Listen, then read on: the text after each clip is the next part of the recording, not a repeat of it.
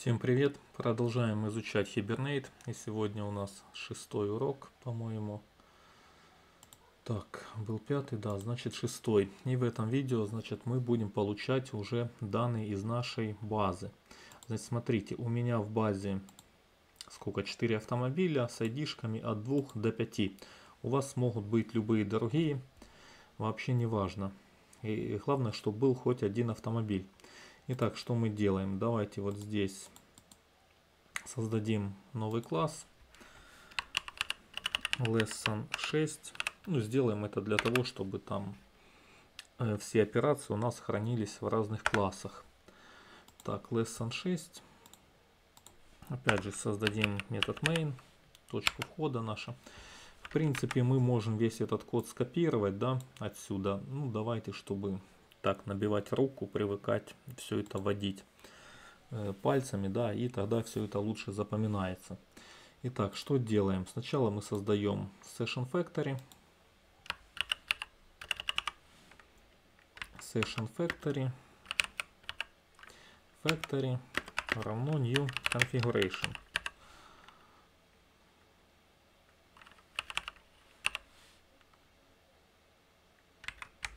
Configuration. И чтобы было видно, я буду писать э, все с, э, со следующей строчки configure. Добавляем наш файл hibernate cfg.xml. Подключаем аннотированный класс. Это у нас... Э, так, а я его не вижу.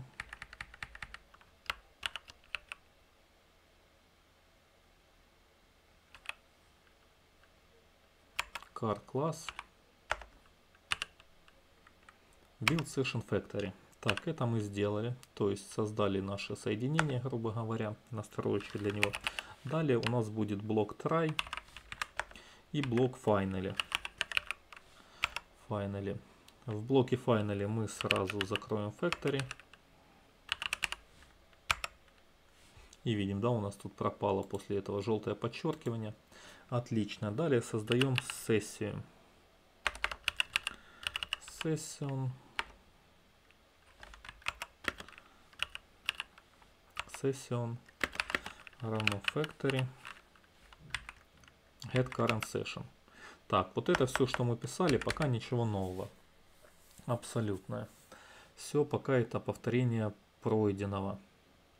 Теперь пишем, пишем session begin transaction Begin Transaction. Окей. Итак, как вы помните, мы транзакцию как открываем, так ее и в конце закрываем. Давайте сразу это напишем. Session get transaction commit. Вот. А вот тут, собственно, и будет наш код. То есть, что нам тут надо получить? Нам надо получить один из автомобилей, который находится в нашей базе данных, допустим, по ID 4. Что для этого пишем? Пишем session .get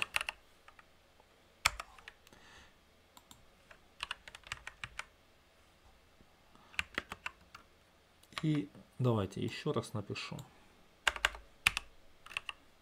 Get и тут Тут мы видим целая куча конструкторов. Нас пока интересует так, class, класс Object O. Ну, давайте, пускай так будет.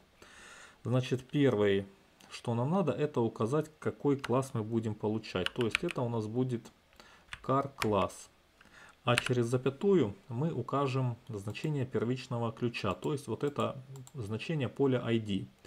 Давайте найдем BMW, это у нас 4, укажем 4. Все есть. То есть вот здесь у нас будет возвращаться наш автомобиль. Опять, чтобы его, получается, сохранить в каком-то объекте, мы напишем car, car1. И вот здесь выведем его на экран. System out println car1. И давайте теперь запустим.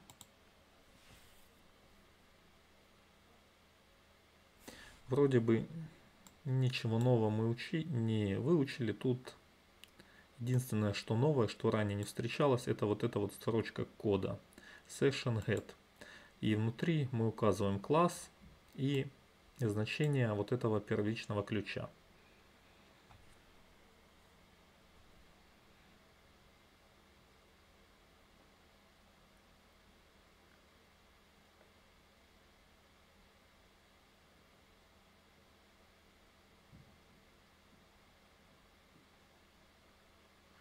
Так, все проходит успешно, пока никаких ошибок нет.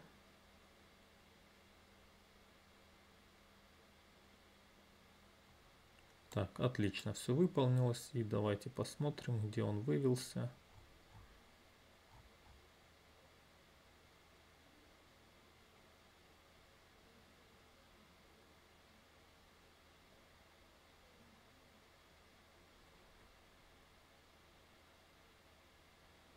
Так. А где наш car1? У него переопределен метод toString? Да, переопределен.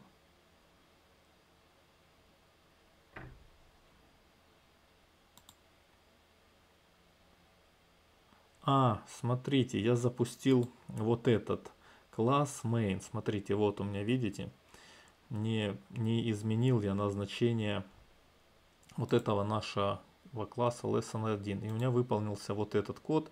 То есть я доставил, добавил в базу еще один автомобиль Mazda. Вот смотрите, если я сейчас обновлю, у меня вот она Mazda еще одна добавится. Значит, смотрите, чтобы такого не было, вы либо вот тут, когда запускаете код, не забывайте менять на current file, да. Вот тут мы поменяли и теперь можем запустить. То есть теперь запустится вот этот lesson 6.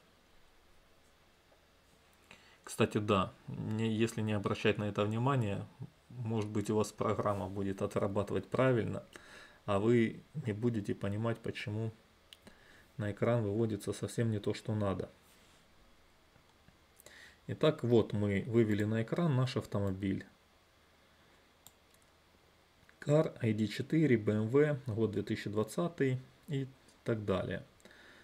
Давайте зайдем в нашу табличку и получим, а вот давайте и получим вот значение автомобиля с ID 6. То есть меняем на 6, запускаем и теперь нам должна вывестись Mazda на экран.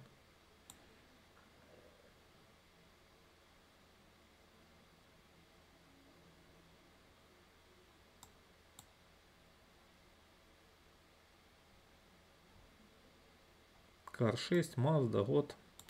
То есть давайте посмотрим в табличку. 2024, Color Green, прайс 85 тысяч, Speed 195.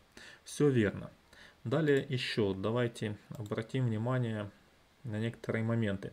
И опять же помните, да, я вам говорил, если вот этот файлик Э, находится в папочке Resource и называется именно Hibernate CFG XML, а не как по-другому, то его можно не указывать.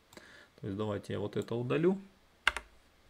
И смотрите еще, так как мы добавили в файл конфигурации вот этот сделали мэппинг на наш класс, да, на car, тогда так вот эту строчку тоже можно не указывать. То есть давайте я ее закомментирую. То есть add annotated class можно сюда не прописывать, так как мы уже про этом классе передали всю информацию вот в этом, в конфигурационном файле. Итак, давайте теперь получим данные от, об автомобиле под ID 2. Изменим тут на 2. Запускаем. Автомобиль 2 это у нас Mercedes 2023 года, красный.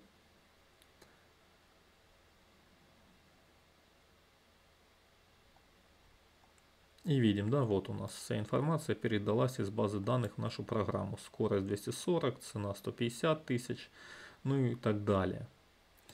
То есть видим, да, мы можем вот эти параметры опустить, как и аннотированный класс, так и вот файл конфигурации. Но как я уже говорил, хорошим тоном является всегда указывать этот файл. Так, и давайте еще сделаем следующую вещь.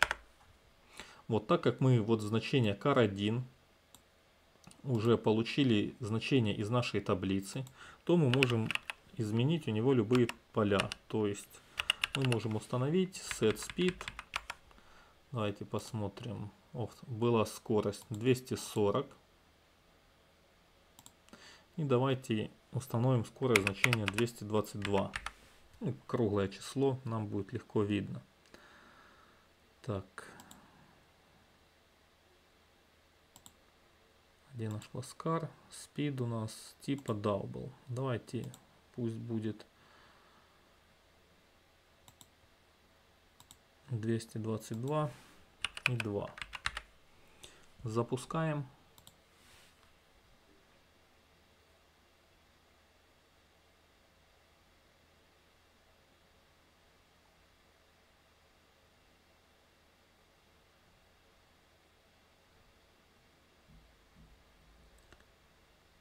И видим, да, вот, скорость уже 222. Ну, тут можно было, кстати, вот так вот сделать.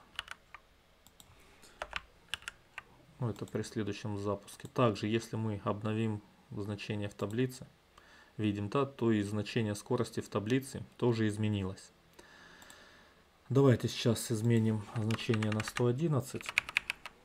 1. Тут я вам что хочу показать, что мы сначала отображаем информацию об автомобиле, когда получили из базы данных, потом проводим изменения и потом опять выводим уже новые параметры автомобиля в консоль.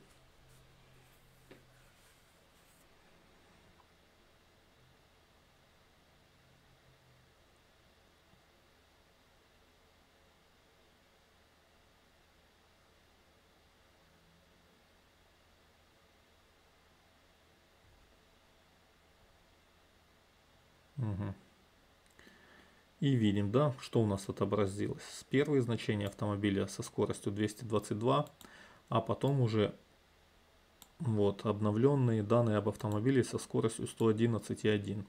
Опять же, если мы зайдем в таблицу, обновим, видим, что значение скорости обновилось и в таблице. Также опять обращайте внимание, что на самом деле тут у нас изначально вызывался метод select, да, который делал выборку из нашей таблицы в базе данных, а далее вызывался метод update, то есть тут изменялось значение. Вот. Так, ну а на этом это видео будем заканчивать. Напоминаю, что весь код к уроку вы можете найти по ссылочке на GitHub. Также, если вы не хотите ждать выхода следующих видео, мы, вы можете стать спонсором этого канала, и все видео вам будут сразу доступны.